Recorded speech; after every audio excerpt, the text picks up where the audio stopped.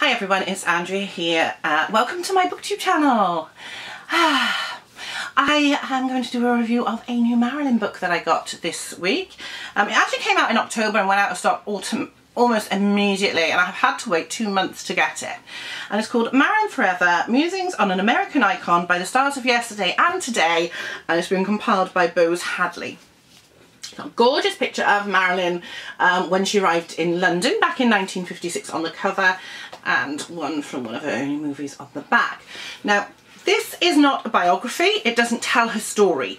What it does do is it gives us quotes from various people who knew her, um, people who wish they knew her, and of course stars of today who have never met her but she has impacted their life. It comes into to four chapters, which is Victim, Vixen, Valentine and Venus.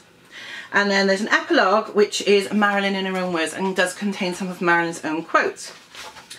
So you've got some quotes that aren't very nice. For instance, Marilyn Monroe was fabulous, but in my opinion, she was too fat. By Elizabeth Hurley. That's what we think of her. And then you've got quotes from, there's a lovely one from Meryl Streep, which I'm going to read later. Um, there's one, there are absolutely some lovely comments. Um, and some lovely pictures as well. That's her early. Um, Gene Tierney, who uh, starred in Laura, said, One thing I rather resent is the implication that mental illness is hereditary.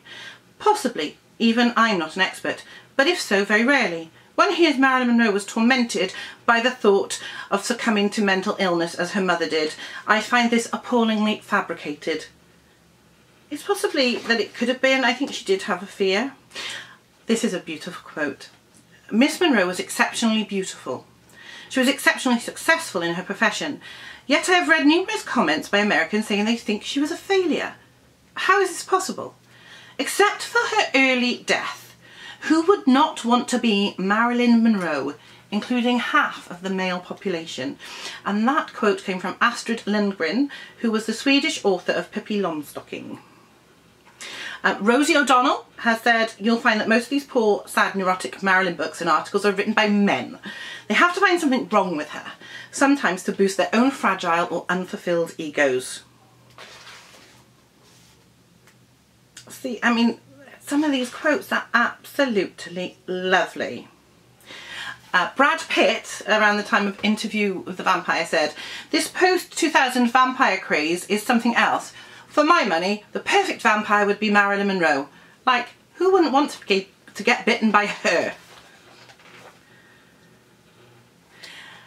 She is the ultimate temptress, but one who won't exact a high price or penalty. There is no dark side to her. Cameron Diaz. This is a great one. All I know is, if Marilyn Monroe was insecure about her appearance, what the hell chance do the rest of us have? And that came from another beautiful woman, the late Sharon Tate. The one I really, and there are ones from people who really did know her. Um, for instance, there are ones from um, William Trevere, there are ones from Norman Rosten, um, who knew her, Tony Curtis, Jack Lemmon, Rock Hudson, so people who did know her. The ones that really, really get to me are the ones from people today. Just, just wonderful.